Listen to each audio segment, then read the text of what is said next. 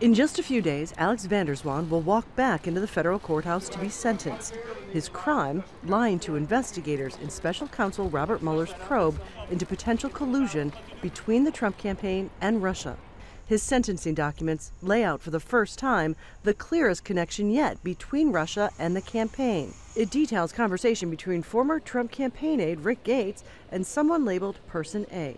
Investigators say Person A has ties to a Russian intelligence service and had such ties in 2016.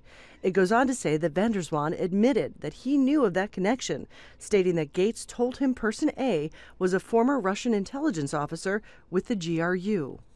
Gates has also pled guilty and is cooperating with Mueller, telling him all about the conversations that happened just months before the election. A lawyer, van der Zwaan, worked with Gates and former campaign chairman Paul Manafort on a report that was meant to legitimize the prosecution of former Ukrainian Prime Minister Yulia Tymoshenko.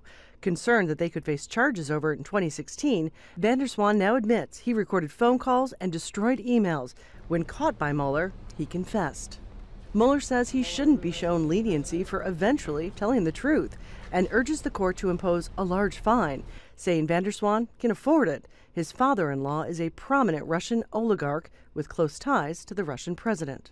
Attorneys for van say he should be spared prison, arguing he's been stuck in a U.S. hotel for the last few months without any good friends or family.